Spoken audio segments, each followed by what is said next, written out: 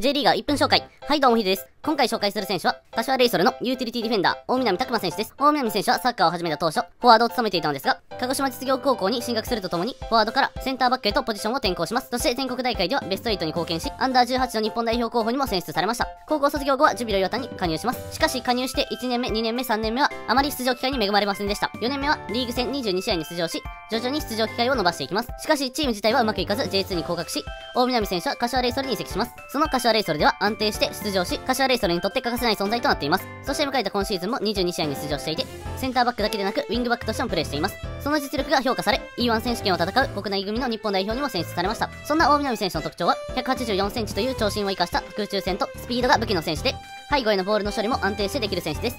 それにスピードを生かしたオーバーラップでの攻撃参加も得意な選手です。そんな大南選手の今後の活躍に注目です。以上。